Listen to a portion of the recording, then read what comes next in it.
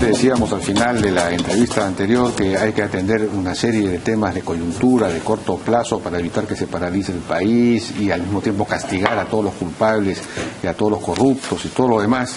Pero no podemos perder de vista el eh, mediano y largo plazo, la visión de las reformas que se requieren que, este gobierno está obligado a llevar adelante, que van desde la reforma, eh, digamos, del Estado, la simplificación administrativa y todo lo demás, la modernización, la reforma judicial, del sistema judicial, de la policía, la reforma política en la cual el Congreso tiene, en fin, hay que construir la institucionalidad institucional moderna en el Perú.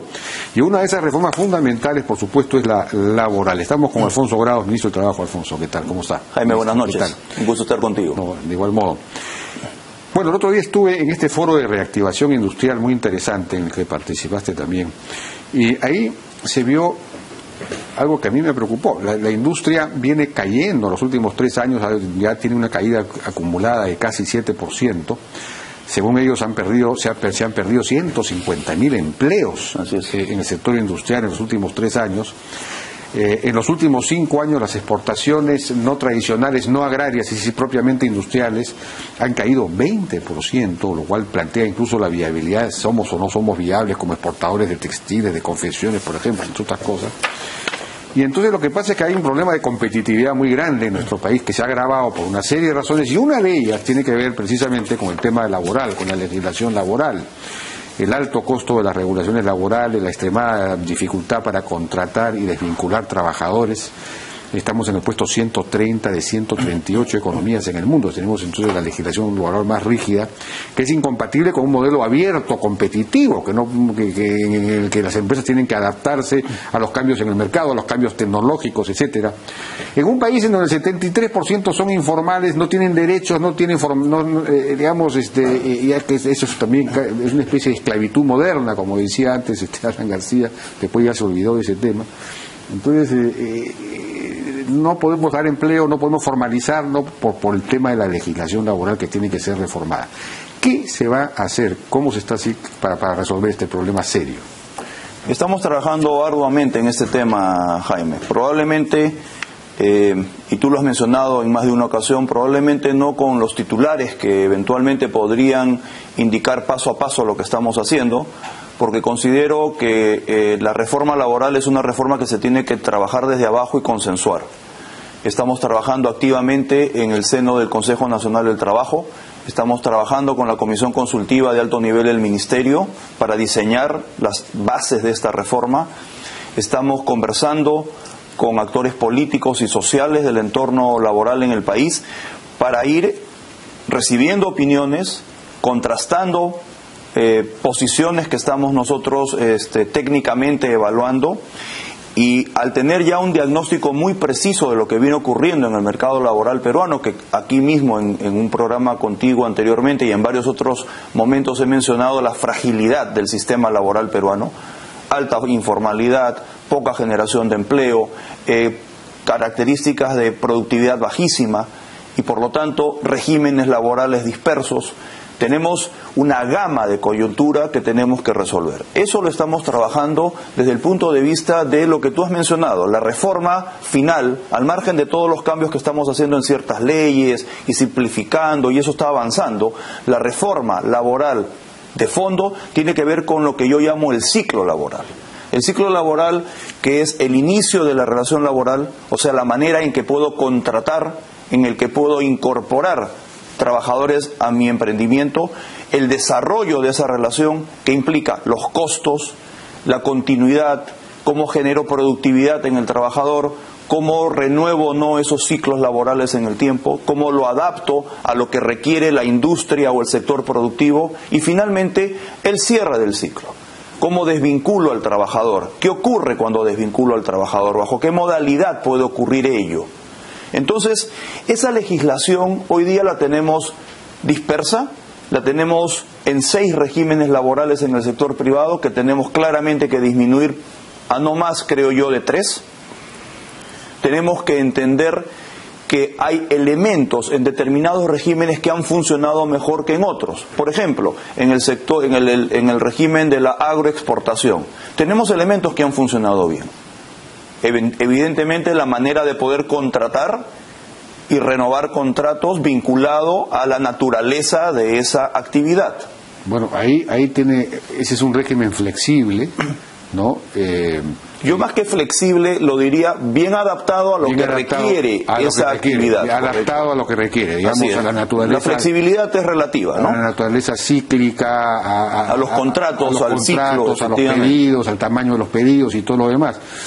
Y perdón, y ese régimen incorpora un elemento que para mí es clave, incorpora a plenitud la remuneración integral anual, la RIA, que es un concepto de simplificación, de predictibilidad de los costos que vamos a fomentar adicionalmente a otros niveles para que sea parte integral de la reforma laboral que estamos trabajando. Esa remuneración integral tiene todos los beneficios. Tiene gratificaciones y tiene CTS y la remuneración regular mensual. De Integra todo ello en alícuotas mensuales a lo largo del año. Y creo que eso desmitifica un poco la problemática del sobrecosto laboral. Yo lo he dicho, Jaime, no siempre logro el consenso en torno a ello, pero por ejemplo, para mí, las gratificaciones no son un sobrecosto laboral, porque las gratificaciones son perfectamente predecibles por el empleador y sabemos cuándo y cómo deben ocurrir. Y van directamente al bolsillo del trabajador. Claro, o sea, es un costo. Para un pequeño empresario pagar una gratificación eh, no lo puede hacer. Ahí entramos a otra problemática, que es la productividad de la base de la fuerza laboral. Y ahí tenemos un tema con el sueldo mínimo vital. ¿Por qué tenemos un régimen como el de la microempresa, que es el que tiene cero sobrecosto? La microempresa tiene RIA al, al, nivel del sueldo mínimo vital y no tiene ninguna sobrecarga laboral, tiene solamente 15 días de vacaciones al año y tiene una escala disminuida de seguro social. y ese es el sector donde tenemos más informalidad. Porque el salario mínimo es muy alto para ese sector. Efectivamente, entonces estamos en un tema de productividad y es ahí donde tenemos que incorporar esa variable en cualquier reforma que querramos hacer porque si no vamos a tener una reforma bien estructurada y va a servir a algunos y no va a servir a otros, y eso no es lo que queremos. Bueno, eso supondría pues coordinar con el Ministerio de la Producción, por ejemplo, pero no sabemos si hay una coordinación con el Ministerio de Producción para aumentar la productividad de las MIPES o de las pymes. Bueno, tenemos muchos temas en común con el Ministerio de la Producción. Tú me encontraste a mí en un foro sobre la reactivación industrial convocado por el Ministerio de la Producción. Con Bruno tenemos un contacto permanente y estamos viendo esta problemática de manera integral, también con el Ministerio de Economía y Finanzas, porque tenemos que alinear la reforma laboral en torno a la reforma tributaria y organizativa que ha generado el MEF sobre las micro y pequeñas empresas. Pero a lo que vamos es que, eh, digamos, un régimen como el agrario o agroexportador, que es un régimen, yo no, usted no, quiere usar la palabra flexible, pero es un sistema, digamos, adaptado, eh, eh, que no supone ninguna clase de estabilidad laboral absoluta, pues ha permitido la multiplicación del empleo formal, es decir, empleo con derechos. Hay, ese sector se ha aumentado tremendamente la cantidad de empleo formal, no sé cuántos son, 300, 400 mil personas. Y le ha permitido también el incremento de la producción misma, de la exportación, es decir, es un sector sumamente dinámico, gracias en parte a ese régimen laboral. Bueno, eso es lo que habría que extender al conjunto de la, de la economía, tan sencillo como eso. Ese es el consenso que habría que buscar, pero claro, este, ¿será posible un consenso de ese tipo? Yo creo que no, estoy hablando en particular de que el consenso tiene que ir obligatoriamente en replicar ese régimen. Creo que hay una serie de otros elementos, pero, pero estamos en esa línea de pensamiento y el consenso lo estamos buscando. El consenso hay que construirlo.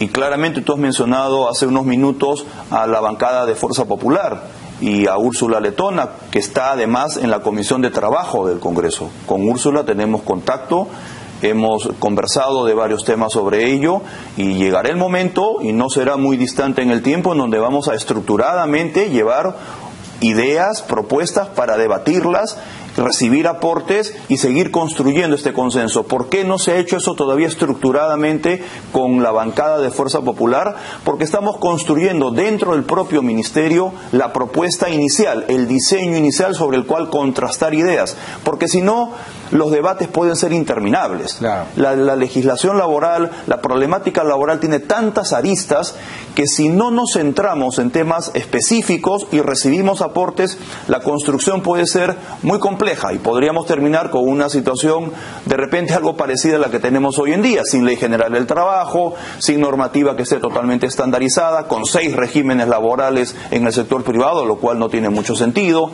Y entonces ahí es donde sí vamos a llegar pronto, yo confío que no más allá del próximo mes a tener los diálogos estructurados con las fuerzas políticas, no solo Fuerza Popular, de hecho con las bancadas que son más eh, pequeñas, de repente es hasta más viable hacerlo más rápidamente, pero estamos totalmente alineados en, esa, en ese camino. Y dentro del el seno de lo que congrega el Consejo Nacional del Trabajo, gremios sindicales, gremios empleadores y la sociedad civil que rodea el mundo laboral, el diálogo está fluyendo día a día. Yo me reúno todos los días con sindicatos, me reúno con gremios empleadores, me reúno con la OIT, permanentemente. Pero se está planteando los temas de fondo, digamos, con, toda sinceridad, porque el problema es que se evaden en los temas de fondo porque se piensa que no eso eso no va a pasar no eso no eso va a ser rechazado. la CGTP jamás va a aceptar una cosa así. Eh, entonces, pero en algún momento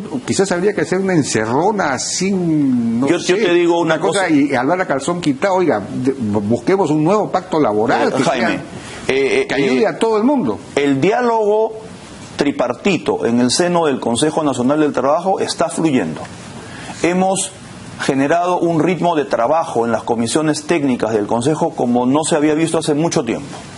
Hemos sacado adelante eh, con trabajo a doble turno el análisis técnico de las 19 medidas que yo anuncié aquí en tu, en tu espacio hace ya algún tiempo que presenté de legislación bien específica negociación colectiva vinculado a arbitraje potestativo, la, legislación vinculada a ceses colectivos, temas de SUNAFIL, temas de escala de multas y inspección laboral. Sobre eso ya estamos cerrando ese capítulo. Por ejemplo, el tema del arbitraje potestativo, eso es un eh, pedido eh, de los industriales y de, en fin, en general de los empresarios eh, este fue un régimen eh, que fue establecido a comienzos del gobierno de Ollantumala, pero eh, afecta la negociación colectiva, precisamente la rompe. La debilita. La debilita tremendamente porque uno, cualquiera, cualquiera de las partes, prácticamente inconsultamente. Inconsultamente va rompe la negociación y va al ministerio a pedir arbitraje potestativo efectivamente. donde hay unos arbitrar, unos árbitros eventualmente arbitrarios no lo sé pero digamos no no estimula no fomenta la negociación y el diálogo. y estamos haciendo modificaciones a esa legislación para fomentar justamente el fortalecimiento de la negociación colectiva entrar en detalle ahora sería un poco extenso, lo podemos hacer en otro momento. Y ahí hemos logrado, en algunos casos, aprobación de los empleadores y en otros aprobación de los trabajadores en la legislación de ceses colectivos. Típico ejemplo de una ley en el país que no funciona, porque nunca hay un cese colectivo, con lo cual hemos eliminado esa posibilidad, así por obra y arte de magia, pero se utilizan recodos de la legislación para generar espacios donde la el desnivel entre el empleador y el trabajador termina perjudicando al trabajador, como por ejemplo la aplicación de la suspensión perfecta de labores de manera unilateral al inicio de la evaluación del cese colectivo. Eso no puede continuar y ahí tenemos apoyo de los sindicatos y propuestas de los empleadores. Y estas 19 medidas están por salir. Algunas van a requerir modificación legislativa, tenemos que ir al Congreso. Otras serán definición del Ministerio. Y en el momento, mira qué bien está avanzando ese tema, que en la sesión de la semana pasada del Consejo Nacional del Trabajo, ya nosotros como Ministerio hemos llevado 20 propuestas más y hemos recibido 20 propuestas de los sindicatos y estamos a la espera de yo calculo 10, 12 propuestas de los empleadores sobre otros temas de legislación laboral, ley de seguridad y salud en el trabajo, la ley para fomentar el trabajo para las personas con discapacidad. Ahí no están las grandes reformas laborales. La gran reforma laboral va a tener que pasar por legislación necesariamente, consensuada. Eso lo vamos a llevar al Consejo Nacional del Trabajo con una propuesta inicial del Ministerio en el mes de abril, hacia fines de abril para comenzar ahí a trabajarlo en ese seno y comenzar a trabajar con las fuerzas políticas para llegar, mi expectativa es a julio de este año, y entregarle al presidente de la República la propuesta de reforma laboral que debe estar totalmente integrada, cohesionada con la reforma que plantea eh, Alfredo Torne desde el Ministerio de Economía, que es la de la protección social, vinculado a las pensiones, vinculado al acceso a la salud por parte de los trabajadores y vinculado al momento del desempleo. Entonces, ambas tienen que tener tienen de hecho muchos puntos de articulación. Eso se está trabajando en conjunto en muchos aspectos. Entonces la expectativa es tener todo esto consensuado, trabajado al mejor a la mejor búsqueda de una de un entendimiento entre los mayor, la mayor parte de los actores para el mes de julio. Eso no se construye de un día para otro. Eso no es que sale el ministro y dice, esta es mi propuesta, porque hemos visto experiencias en el pasado de leyes que probablemente tenían buena intención, que seguramente estaban en el camino correcto ante la problemática laboral que vivimos, como por ejemplo por el tema de empleabilidad juvenil y la ley Pulpín, que simplemente no prosperó porque fue mal planteada. No es porque tuviera una mala, eh, digamos, un mal sustento, pero fue mal planteada. No fue sociabilizada y además segmentaba y le daba menos derechos a un grupo de trabajadores que eran los jóvenes. ¿Por qué razón?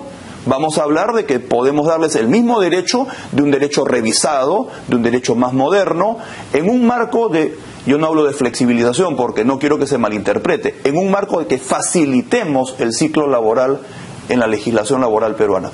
Ese es el gran reto, llegar en el momento adecuado con una propuesta de legislación de reforma integral que goce de consenso, que podrán haber algunas voces que puedan discrepar de algún punto, pero no podrán decir no me tomaron en cuenta, no me escucharon, ni siquiera me informaron. De acuerdo, bueno. Entonces, por eso yo sé que tú a veces me, dices, ¿por qué no sales?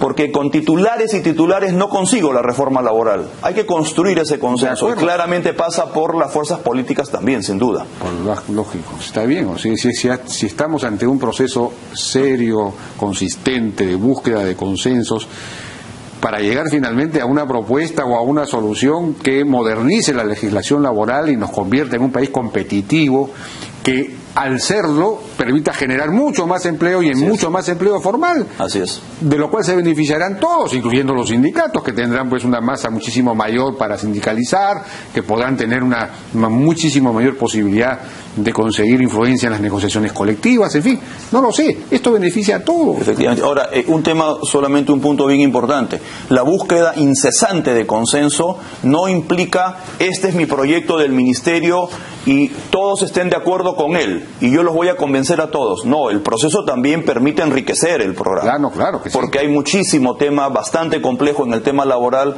y, por ejemplo, en la comisión consultiva tenemos personalidades de, de altísimo nivel con posiciones discrepantes. Ahí las discusiones son bien ricas y ahí tenemos propuestas de una naturaleza y de otra y nosotros tenemos que ir asimilando y buscando por dónde está la mejor solución. ¿Por qué no organizan, por ejemplo, un viaje del Consejo Nacional de Trabajo, hecho ese espacio en el Consejo Nacional de Trabajo, ahí faltan los pequeños, ¿no? Los pequeños, ahí están solamente los grandes sindicatos y los grandes, las grandes empresas. Un viaje a Dinamarca, por ejemplo, que es un país emblemático del de, eh, estado de bienestar, socialista, socialdemócrata, digamos, eh, que tiene un sistema laboral extraordinario, en donde prácticamente no hay desempleo, hay casi pleno empleo o pleno empleo, pese a cualquier circunstancia económica, porque es tremendamente flexible, pero al mismo tiempo hay seguridad para el trabajador.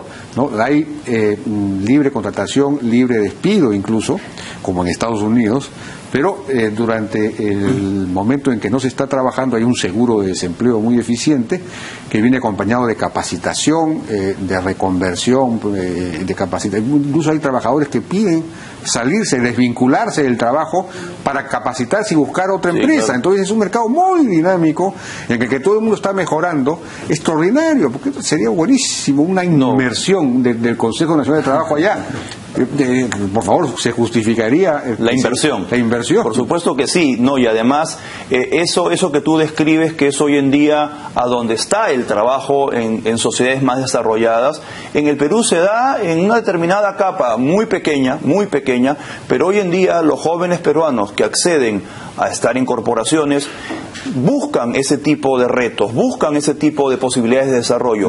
Mi, gran, mi gran discurso hoy día he tenido una conferencia en la mañana sobre justamente gestión del talento en el Perú. Mi gran discurso es que eso no lo podemos circunscribir a un grupo tan pequeño de gente en el país. Tenemos muchísimo joven en la base que tiene talento y que no encuentra la manera de desarrollarlo porque ingresa a un mercado laboral informal, de bajísima productividad, donde 67% de los trabajadores en el Perú, formales o informales, laboran en microempresas de menos de 10 personas, en emprendimientos individuales que no tienen formación técnica ni profesional o son empleados de empresas familiares no remuneradas. 67% de los trabajadores están en estos tres núcleos. Eso no es Dinamarca. ¿No es cierto? Entonces tenemos que también reconocer que el Perú es distinto.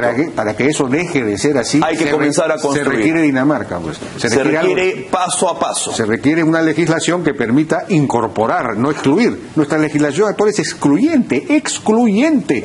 Eso es algo que hasta ahora no se entiende. Yo no sé por qué no se nota.